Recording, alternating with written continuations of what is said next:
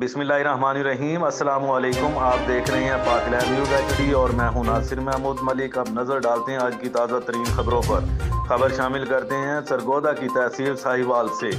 लारी अड्डा साहिवाल पर रक्षा ड्राइवरों से भत्ता वसूल करने वाले मोहम्मद वकार माछी के खिलाफ शदीद एहतजाज। Commissioner, deputy commissioner Sargodha R P O D P O Sargodha assistant commissioner Sahiwal D S P Sahiwal S H O थाना साहिवाल से फौरी कार्रवाई का मुतालबा।